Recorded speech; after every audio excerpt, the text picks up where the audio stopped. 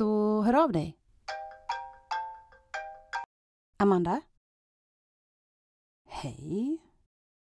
Men så vadå, jag skulle få ett par strumpor på posten varje månad? Nej, alltså jag vet inte.